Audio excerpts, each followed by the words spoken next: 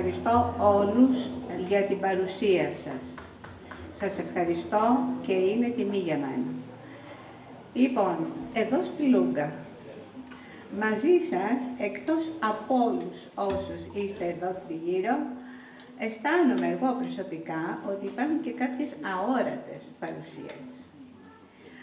Αυτές είναι οι γονείς μου, οι συγγενείς μου, οι δάσκαλοι μου στα σχολεία του Μαραθοκάβου, στο Δημοτικό και στο Γυμνάσιο και ιδιαίτερα η νενέ μου, η Αθηνά Λεβεντάκου, ε, που δίπλα της πέρασα τα πρώτα 17 χρόνια της ζωής μου και διδάχτηκα πάρα πολλά πράγματα. Ακόμα θα ήθελα να ονοματίσω τα αδέρφια μου, που έφυγαν σχετικά πρόωρα για την εποχή μας, το Μανώλη και το Διαμαντή.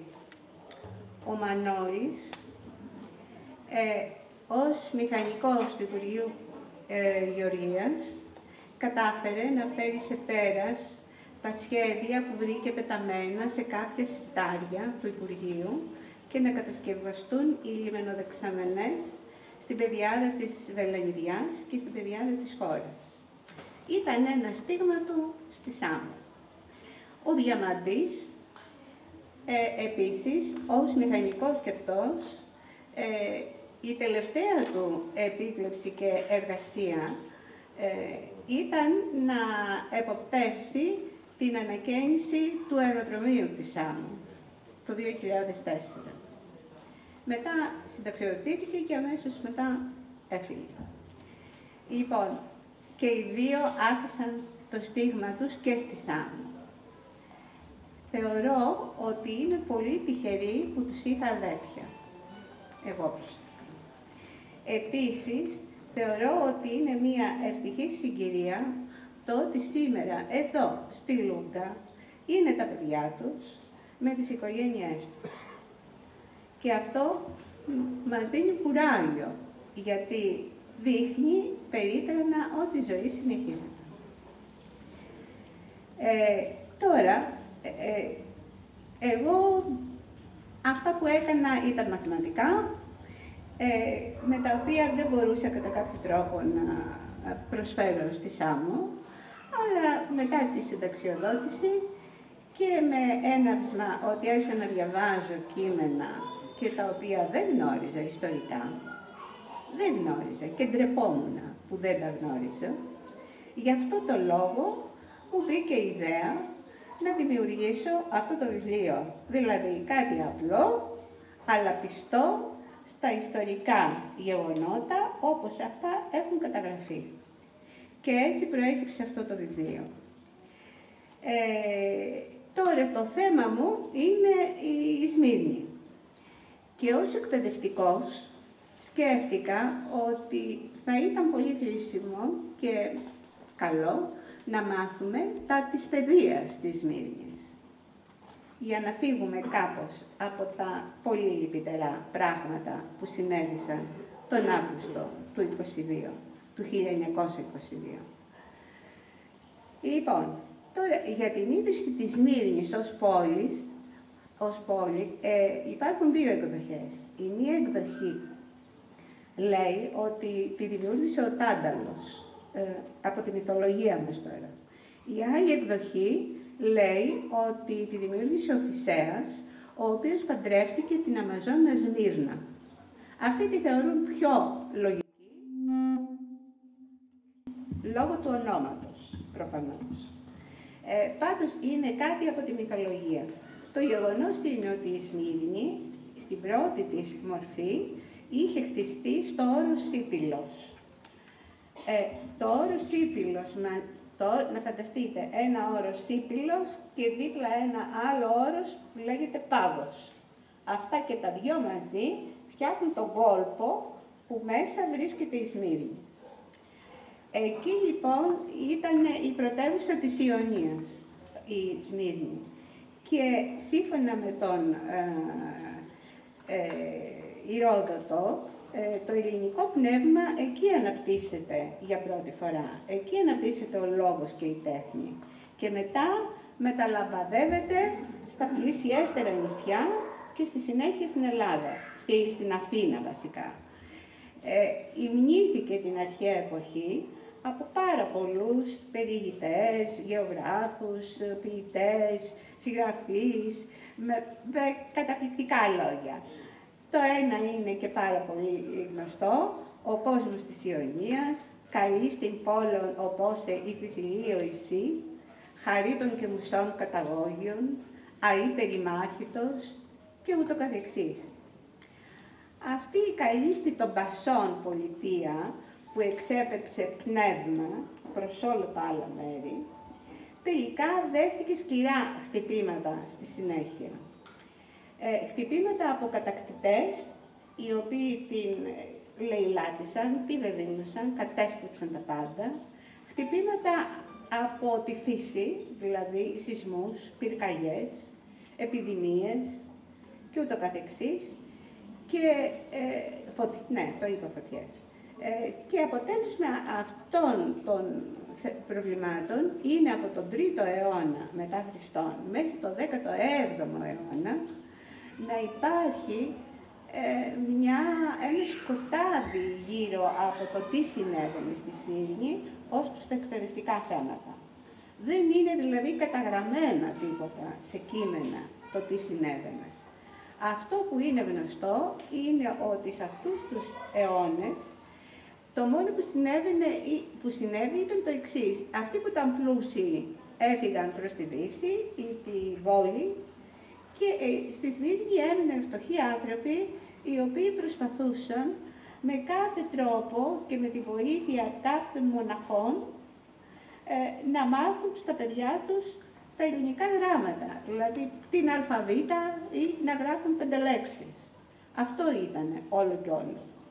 Μέχρι που τον, το 1689, το 17ο αιώνα δηλαδή, φτάνει ως Μητροπολίτης στη Σμύρνη ο Γρηγόριος Κονταρής.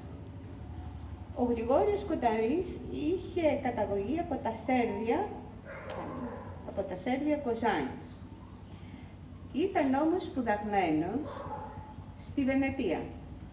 Γνώριζε γλώσσες, ήταν μεταφραστής, ήταν συγγραφέας, είχε πάρα πολλά δηλαδή ε, χαρίσματα, θεωρούνταν πολύ σπουδαίος λόγιος άνθρωπος. Μόλις έφτασε στη Σμύρνη, ο Κονταρής κατάλαβε ότι ήδη είχαν φτάσει διάφορα τάγματα από την Ευρώπη, τα οποία προσπαθούσαν να δημιουργήσουν κάποιο τύπου σχολεία, αλλά ο σκοπός τους δεν ήταν να εκπαιδεύσουν τα παιδιά της Βίνης, αλλά να τα προσελκύσουν. Αυτό το διαπίστωσε πολύ γρήγορα και έτσι κατάφερε και ενημέρωσε τους μηνιώτες για το μεγάλο πρόβλημα που υπάρχει. Επειδή εκείνη την εποχή ε, ο Οικουμενικός Πατριάρχης ήταν, είχε καταγωγή από τη Σμύρνη και το όνομα του ήταν Ραφαήλ, ε, ζήτησαν από τον Οικουμενικό Πατριάρχη τη βοήθειά του, την οποία την έδωσε αμέριστα. Ο Ραφαήλ, ο Γαβριήλ, με συγχωρείτε ο Πατριάρχης, ε, κατάφερε να πείσει το σοφό δάσκαλο Διαμαντή Ρήσιο, ο οποίος εκείνη την εποχή δίδασκε στοιχείο, να εγκαταλείψει τυχείο και να έρθει στη Σάμο και να αναλάβει, στη Σμύρνη και να αναλάβει όλο το εκπαιδευτικό σύστημα και οτιδήποτε είναι δυνατόν. Ε, επίσης, αυτό έγινε, όντως, εγκαταστάθηκε στη Σμύρνη ο Διαμαντής Ρήσιος και μάλιστα έμεινε αρκετά χρόνια. Εκεί έκανε οικογένεια, απόκτησε τέσσερις κόρες και από τη μία κόρη του τη Θεανό απόκτησε εγγονό τον Αδαμάτιο Κοραή. Ε, εκείνη την εποχή, όπως γράφει ο ίδιος ο Αδαμάτιος Κοραής, μόνο τέσσερις κοπέλες γνώριζαν γράμματα και ήταν η μητέρα του και οι θείες του. Καμία άλλη κοπέλα. Ε, έτσι, τέλος πάντων, ξαναγυρίζει στο σχολείο το, που δημιουργήθηκε. Ε, αυτό ε, είχε πολλές αλλαγές, γίνανε μεγαλύτερα κτίρια, άλλες γειτονιές, ε, άλλες φορές είχε άτμαζε, άλλες φορές ήταν στα κάτω του και ούτω καθεξής, αλλά τελικά ποτέ δεν έσβησε. Δηλαδή, αυτοί οι τρεις άνθρωποι, τους επαναλαμβάνω, ο Κονταρής, ο Πατριάρχης Ραφαήλ, ε, Γαβριήλ, με συγχωρείτε, ο Πατριάρχης Γαβριήλ και ο Αδαμάντιος Ρήσιος είχαν ανάψει ένα πολύ μεγάλο φανό ε, ε, παιδείας και αυτός ο φανός διατηρήθηκε. Διατηρήθηκε πολλά χρόνια και μετά από πολλές αντικσότητες φτάνουμε το 1808 περίπου, όπου ε, αυτό το σχολείο ονομάζεται Ευαγγελική Σχολή. Αυτό που όλοι γνωρίζετε. Η Ευαγγελική Σχολή, η Περιβόητη. Ε, αυτό, από αυτή τη σχολή αποφύτησαν εκατοντάδες ε, παιδιά, ε, πολύ μορφωμένα, τα οποία ε, είχαν πρόσβαση στο Πανεπιστήμιο το ελληνικό, ε, η πρόσβαση σε πανεπιστήμια της Δύσης ε, και υπηρέτησαν όλο το φάσμα των επιστημών και των τεχνών. Ε, τώρα, τι γινόταν με τα κορίτσια που είπα ότι δεν ήξεραν τίποτα και δεν υπήρχε σχολείο. Πάλι ο ιδρυτής είναι ο Μητροπολίτης ε, της Μυρνής ο Χρύσανθος. Και αυτό έγινε το 1835 πια. Έφτιαξε το πρώτο ε, κατάστημα κορασίδων, κάπως έτσι το ονόμασε, το οποίο μετά στη συνέχεια κινητοποίησε πάλι όλους τους μυρνιούς, γιατί υπήρχε διάθεση από την κοινωνία πια, είχαν αρχίσει να καταλαβαίνουν ότι και τα κορίτσια έχουν δικαίωμα και πρέπει να μάθουν γράμματα, και έδωσαν πάρα πολλά χρήματα για αυτή την ιστορία, όπως έδωσε και η απορία της Εκκλησίας της Αγίας Φωτεινής. Και στον περίβολο της Εκκλησίας χτίστηκε το πρώτο σχολείο για τα κορίτσια. Αυτό το πρώτο σχολείο πολύ γρήγορα ήταν μικρό για, για τα πολλά κορίτσια που ήθελαν να μάθουν γράμματα. Μεταφέρθηκε σε ένα μεγαλύτερο. Μέσα σε τρία χρόνια το σχολείο αυτό αριθμούσε 300 κορίτσια, το οποίο ήταν για εκείνη την εποχή και με τις συνθήκες που επικρατούσαν θαυμαστό. Μετά από αυτά, τα γεγονότα και διάφορα άλλα, πάλι το σχολείο δεν ήταν δυνατόν να εξυπηρετήσει τις ανάγκες των κοριτσιών, γιατί δεν ήταν μόνο οι κοπέλες που ήταν από τη Σμύρνη, ήταν και οι κοπέλες που ερχόταν από τα διπλανά νησιά, όπως τη Σάμο, τη Χίο και την Ιτλίνη, αλλά και από άλλα μέρη και από τις Κυκλάδες ακόμα πήγαιναν στη Σμύρνη. Ε, γι' αυτό τελικά χτίστηκε ένα πάρα πολύ ωραίο ε, ε, σχολείο νεοκλασικού τύπου, στο οποίο δίδαξαν εξαιρετικές παιδαγωγοί, γυναίκες πάντα. Η κυριότερη μορφή γυναίκας που πέρασε από το σχολείο, το οποίο ε, εν τέλει και αυτό μετά από κάποιες ονομασίες ονομάστηκε Παρθεναγωγείο της Αγίας Φωτεινής, ε, ήταν η Σαπφός Λεοντιά, Λεοντιάς. Η Σαπφό Λεοντιάς ήταν παιδαγωγός ε, υψής του βαθμού για εκείνη την εποχή. Είχε, ε, γνώριζε γλώσσες, είχε γράψει συγγράμματα, και Και πρέπει να σας πω ότι αυτή ίδρυσε τα πρώτα παρθεναγωγεία στη Σάμο. Και αυτό έγινε με χρήματα της συζύγου του ηγεμόνα Γκίκα και πρωτοβουλία της συζύγου του ηγεμόνα Γκίκα, ε, ο οποίος ήταν ένας από τους ηγεμόνες, ο οποίος έκανε καλά πράγματα και πρέπει να τα λέμε κι αυτά. Ε, αυτό λοιπόν μετά τη μεγάλη επιτυχία που είχε με τη ΣΑΜΟ και τα παρθεναγωγεία, δηλαδή τα δημοτικά, όχι οι δημοτικές εκπαίδευσης, έγινε γνωστή και την κάλεσαν στη Σμύρνη στο παρθεναγωγείο της Αγίας Φωτεινής.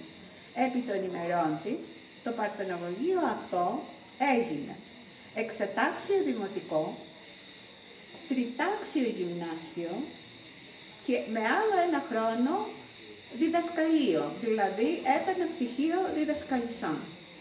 Αυτό ήταν πάρα πολύ σημαντικό, γιατί ήταν το μόνο επάγγελμα το οποίο μπορούσαν να ασκήσουν γυναίκες εκείνη την εποχή και επίσης πολύ σημαντικό γιατί όλα τα μέρη, ό, όπου υπήρχε παρθεναγωγείο, δημοτικό ή οτιδήποτε, είχε ανάγκη από κάποιο δάσκαλο και δεν υπήρχαν. Οι, τα αγόρια κυρίως πήγαιναν σε άλλες επιστήμες. Έτσι έπαιξε ένα πάρα πολύ σημαντικό ρόλο.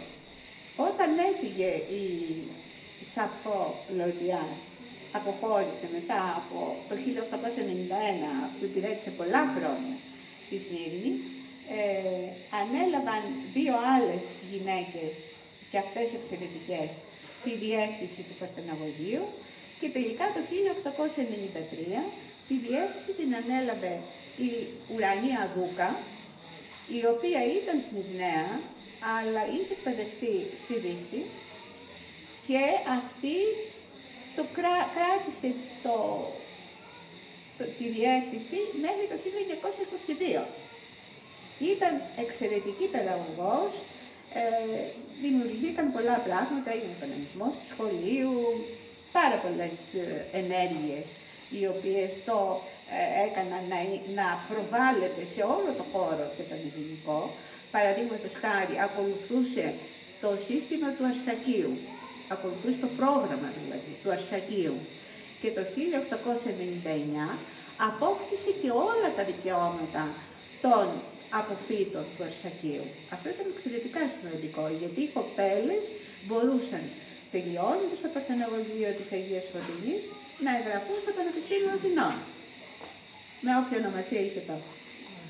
Λοιπόν, η Ουρανία Δούκα, εκτός των άλλων, ήταν πάρα πολύ φανατική Ελληνίδα και χριστιανή βέβαια και είχε η ίδια φτιάξει και ράψει μία τεράστια σημαία ολομέταξη ελληνική την οποία είχε τυλίξει σε ένα πελώριο κοντάρι και αυτή τη σημαία τη φύλαγε στην ολότυχη βιβλιοθήκη του γραφείου της, κρυμμένη, για να τη βγάλει, να είναι έτοιμη, να την στήσει όταν η Σμύρνη θα γινόταν ελληνική. Ε, τελικά ευτύχησε να το δει, γιατί το Μάιο του 1919 τα ελληνικά στρατεύματα μπήκαν και κατέλαβαν ειρηνικά πάντα τη Σμύρνη. Αυτό ήταν μια απόφαση της Αντάρ, επειδή η Ελλάδα συμμετείχε στην Αντάρ. Και ο Ελευθέριος Βενιζέλος ε, έδωσε, ε, είπε στον αρμοστή της Σμύρνης ότι ένα από τα βασικά πράγματα που θα ήθελε να ασχοληθεί ο αρμοστής ήταν να δημιουργηθεί πανεπιστήμιο. Πολύ φιλόδοξο για εκείνη την εποχή και για το μέρος. Ε, και για τον λόγο αυτό θα έπρεπε να καλέσει τον Κωνσταντίνο Καραθεοδωρή, το γνωστό μαθηματικό, ο οποίος ήταν καθηγητής στο Βερολίνο τότε, ε, γιατί του είχε απόλυτη εμπιστοσύνη. Αυτό, του το είπε ως διαταγή περίπου. Ο αρμαστής το έκανε αυτό.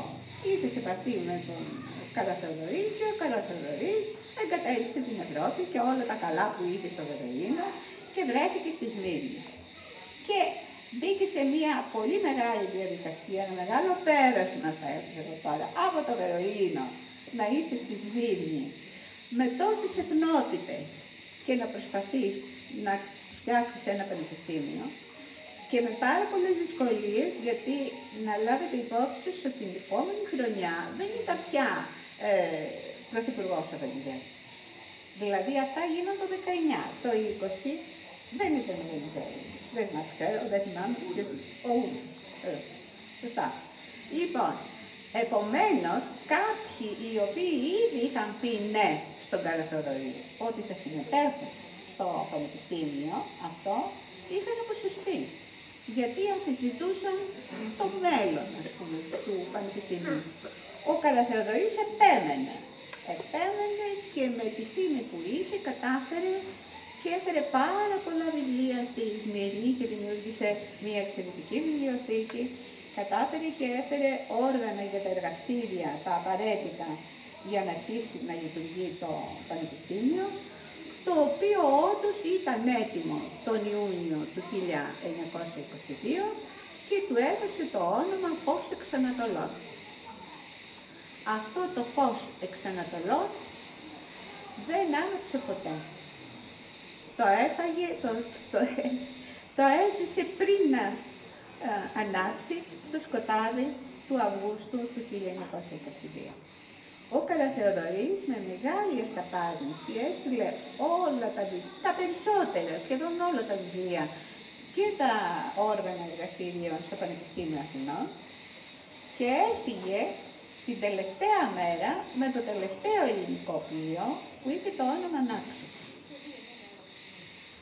Αυτά συνέβαιναν ε, στη Σμύρνη και η οποία σύμφωνα με τον ε, ε,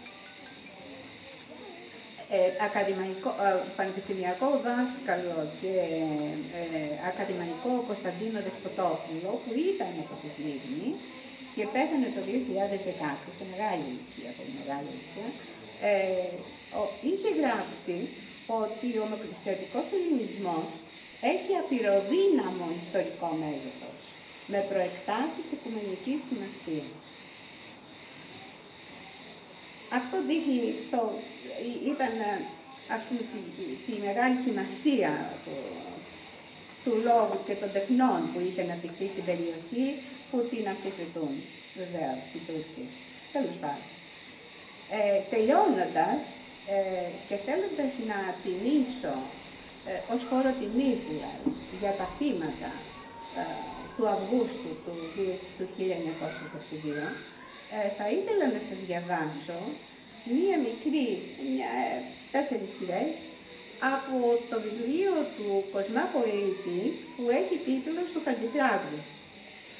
Χατζηφράγου ήταν μία από τις φτωχικές ελληνικές συνοικίες της Μήνης, ε, γιατί υπήρχαν και τέτοιες, υπήρχαν και πολύ πλούσιες, ε, και περιγράφει την προσπάθεια ενός φτωχού ζευγαριού να αποφύγει τη φωτιά. Η γυναίκα είναι νέα, είναι έγκυος πέντε μηνών και αυτή η παράγραφος λέει το εξής. Μην τρέχεις, είπε η Κατερίνα. Το παιδί τη σήκωσε στα χέρια, βαρεμένη πέντε μηνών. Σταμάτησα εκατό δρασκελιές πιο πέρα, στο χωραφάκι, με φεδισμένο καλαμπόκι. Την απόθεσα χάμου στην άλλη άκρη λαγιαστή. Δεν βαστάω πια, μου λέει.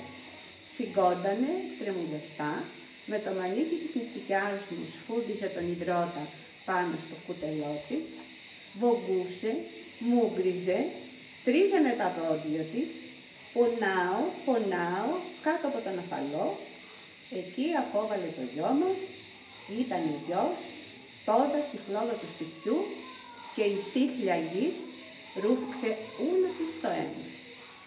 Παιδούλα ονειρευόταν την ευτυχία η Κατερίνα.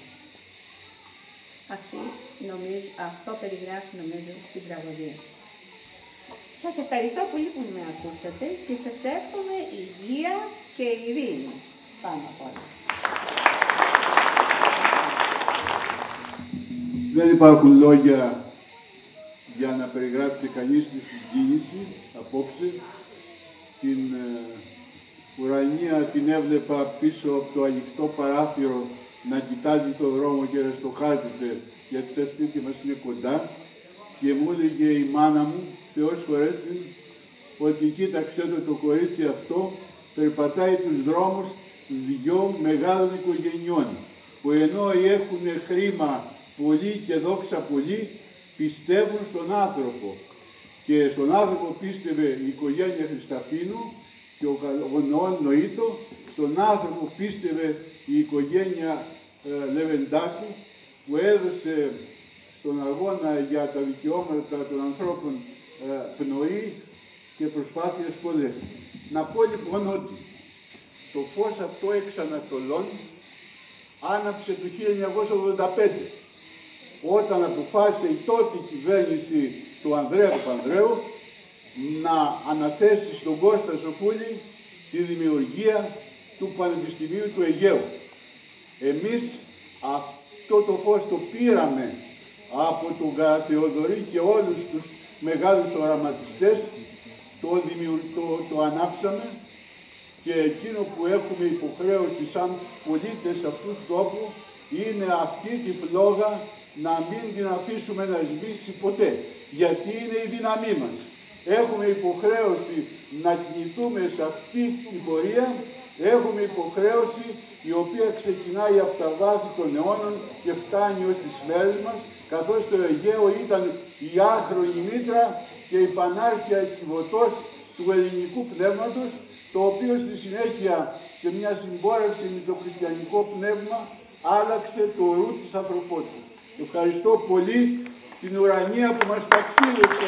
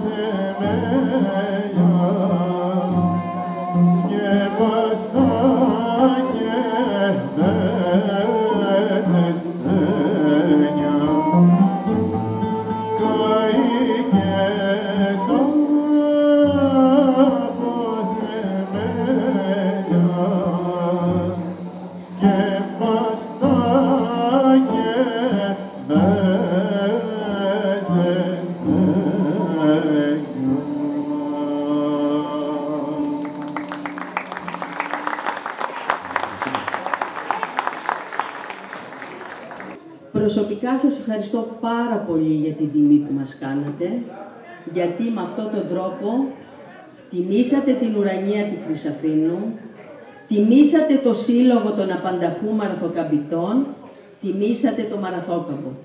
Να είστε όλοι καλά και πάντα να βρισκόμαστε σε τέτοιες εκδηλώσεις. Σας ευχαριστούμε πάρα πολύ.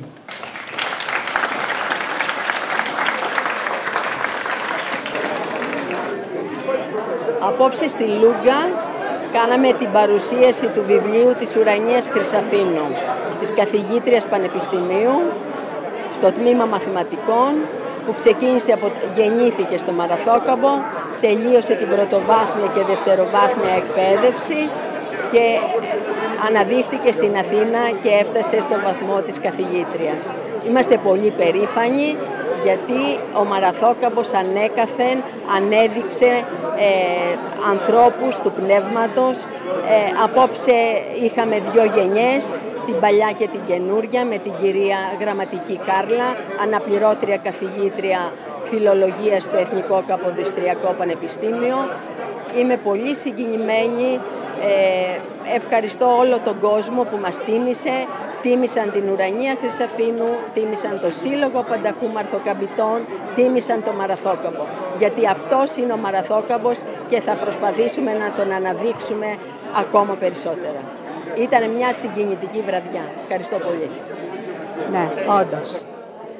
Είναι η επέτειος των τραγικών γεγονότων που συνέβησαν στη Σμύρνη και επειδή κάποιο, ένα και από τα κεφάλαια του βιβλίου αφορά τη Σμύρνη, ε, ε, ήρθε ε, έτσι πολύ γλυκά το θέμα της Σμύρνης για να πούμε για την παιδεία. Είναι ένα βιβλίο το οποίο μετακοπίζεται και στο χώρο και στο χώρο. Ακριβώς. Έχετε δίκιο, έχετε δίκιο. Και ε, είναι σε πολλά μέρη και γι' αυτό έχει ιδιαίτερο ενδιαφέρον και είχε και δυσκολία στο γράψιμο. Γιατί όταν οι ήρωες πηγαίνουν στην Αθήνα του 1899, ε, θα πρέπει ό,τι υπάρχει στην Αθήνα το 1899 να μπορούν να αναφερθούν. Όχι κάτι άλλο. Θέλετε ένα μικρό παράδειγμα γι' αυτό; Ε, ας πούμε η τριλογία που είναι η βιβλιοθήκη, το πανεπιστήμιο και η ακαδημία ήταν ήδη έτοιμα τα δύο κτίρια. Η Ακαδημία δεν ήταν ακόμα έτοιμη. Οπότε η ηρωίδα βλέπει την Ακαδημία μετά από 19-20 χρόνια. Ας πούμε, δεν μπορούσα να πω ότι η τριλογία, να γράψω ότι η τριλογία ήταν έτοιμη. Δηλαδή τέτοιες λεπτομέρειες, τέτοιου τύπου. Παρ' όλα αυτά, η, η εποχή μεταφέρεται πολύ παραστατικά μέσα, μέσα ε, και επίσης όχι μόνο ε, περιγραφικά η εποχή, αλλά και οι κοινωνικές συνθήκες μέσα στους οποίους Ναι. Ε, ε, έπρεπε να το κάνω αυτό, να το καταφέρω μάλλον. Και σε αυτό με βοήθησαν πάρα πολύ τα έντυπα τα παλιά που βρήκα. Ε, από το Σαμιακό τύπο, από το, το τύπο της Σμύρνης, την Αμάλθεια, από διάφορες πηγές τις οποίες πρέπει να πω, όπως έχω γράψει και στο βιβλίο, ότι μου πρόσφεραν με πολύ μεγάλη γενεοδορία οι άνθρωποι των Γενικών Αρχείων του κράτους. Ε, πόσο καιρό διέτησε η έρευνα Α, πολύ καιρό θα έλεγα. Δηλαδή για δύο-τρία χρόνια διάβαζα, μάζευα βιβλία από βιβλιοπολία, όχι από παλαιοπολία θα έλεγα, όχι βιβλιοπολία, ε, γιατί ήταν βιβλία εξαντλημένα, οπότε τα έψαχνα και επίσης από ψηφιακές βιβλιοθήκες, οι οποίες είχαν μεγάλη δυσκολία. Αυτή που με βοήθησε πάρα πολύ ήταν η ψηφιακή βιβλιοθήκη της Κύπρου η οποία μου έδωσε όλα τα τεύχη της Καλλιρόης Παρέν, ατόφια, δηλαδή όχι σελίδα-σελίδα, όπως ε, το δίνει η ψηφιακή ε, ε, της Βουλής, η ψηφιακή βιβλιοθήκη της Βουλής. Είναι πάρα πολύ δύσκολο να κατεβάζει σελίδα-σελίδα και όχι καλά σκαναρισμένη. Άρα υπάρχει και μια διαπίστωση στη ναι. συγκρατική αυτή προσπάθεια, το ότι στερούμε κάπου ακαδημαϊκά. Ε, ναι, θα έλεγα. Ε, να σας πω, ε, το ότι είμαι μαθηματικός και δεν είμαι φιλόλογος, έπαιξε κάποιο ρόλο. Και ο ρόλος των μαθηματικών ήταν στο πώς θα τα ψάξω, πώς θα τα διαβάσω, πώς θα τα ενώσω, τι μου χρειάζεται, τι δεν μου χρειάζεται. Δηλαδή, μία λεπτομέρεια που συνήθως δεν είναι τόσο ε, ακριβής στα κανονικά λογοτεχνικά βιβλία. Αυτό δεν το έκανα επίτηδες, αλλά το έκανα γιατί έτσι έχει δημιουργηθεί η σκέψη μου, κάνοντας μαθηματικά. Δηλαδή, πάρα πολύ μου έκαναν σχόλια, μα γιατί έγραψες στο τέλος τις πηγές; Ε, είναι απαραίτητο να γράψεις τις πηγές. Στα μαθηματικά δεν μπορείς να χρησιμοποιήσεις τίποτα αν δεν γράψεις από που το έχεις πάρει. Οπότε και εγώ θεώρησα σωστό, όποιος ενδιαφέρεται για παραπάνω γνώσεις γύρω από αυτά τα θέματα, να μπορέσει να τα ψάξει, να τα βρει και να τα χρησιμοποιήσει όπως θέλει. Η έρευνα αυτή και η προσπάθεια αυτή αφήνει περιθώριο, μάλλον σας δημιούργησε το έναυσμα για κάτι άλλο στο μέλλον; Ε, τι να σας πω, δεν μπορώ να πω κάτι συγκεκριμένο. Αυτό που κατάλαβα από αυτή τη δουλειά είναι ότι είναι, η ιστορία είναι χαοτική. Δηλαδή, αν θες να είσαι ε, πιστός, ακριβής, ειλικρινής, να μην βάζεις προσωπικές σου ε, γνώμες και επιθυμίες. Αυτό είναι αρκετά δύσκολο ή θα έλεγα πάρα πολύ δύσκολο να γίνει και για τα ιστορικά μυθιστορήματα έτσι είναι. Δεν είναι γράφω μια ιστορία έτσι που φαντάστηκα και τελείωσε. Πρέπει όλα να είναι ακριβή, κατά τη γνώμη μου. Ε, πόσο σε εκατό μυθοπλασία ε, είναι ο βασικός κορμός μυθοπλασία και γύρω δηλαδή πρέπει να το φανταστείτε σαν ένα δέντρο που κάποια βασικά κλονάρια του, να το πούμε απλά, είναι οι άνθρωποι της ιστορίας. Αλλά από όλα αυτά τα κλονάρια υπάρχουν πάρα πολλά άλλα, όπως εδώ ο πλάτανος που έχουμε από πάνω μας, που είναι ιστορία και συνδέονται με αυτούς τους ανθρώπους. Και να πούμε ότι είναι εκδόση ολκός, έτσι. Είναι εκδόση ολκός και τους ευχαριστώ γιατί κάνουν μια καλή ε, έκδοση, δηλαδή δεν είναι κουραστική, είναι μικρή σελίδα η γραμμένη και με κανονικά γράμματα γραμμένα. Οπότε από όσους έχω μιλήσει μπορεί να φαίνεται μεγάλο το βιβλίο, αλλά φεύγει γρήγορα και, ε, και σχετικά εύκολα, δεν κουράζεται δηλαδή τον αναγνώστη. Εγώ ήθελα να διαβαστεί από 12 χρονών μέχρι πολύ πολύ μεγάλους 12 χρονών. Όσοι έχουν κέφι.